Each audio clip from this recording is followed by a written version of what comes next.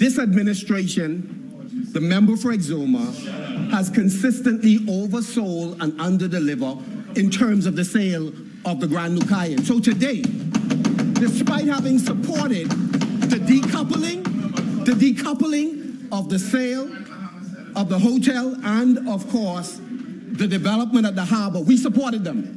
We were cautiously optimistic. And in this house, over and over, we cautioned this administration. Go to time. So, Mr. Deputy, the airport. Today, we have not had a partner identified, yet this administration, this administration is suggesting that they are going to have a sale, they're going to have a, de- a developed airport by 2025. In the absence of a partner, in the absence of the resources, in the absence of a design for the airport, how are you able to reasonably predict the timetable for the development of the airport? How? How is it possible? How? Overselling, under delivering. Overselling, under delivering.